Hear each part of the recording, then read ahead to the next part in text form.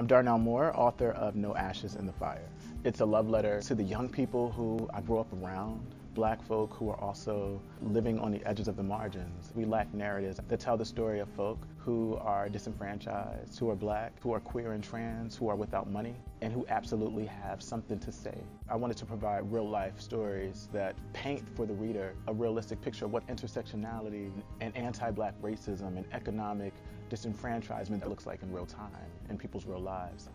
Some of us make it through, some people don't. It's a story that I wish someone had given me when I was 16 and was thinking about what I needed to survive. I wrote that for that young 16 year old me.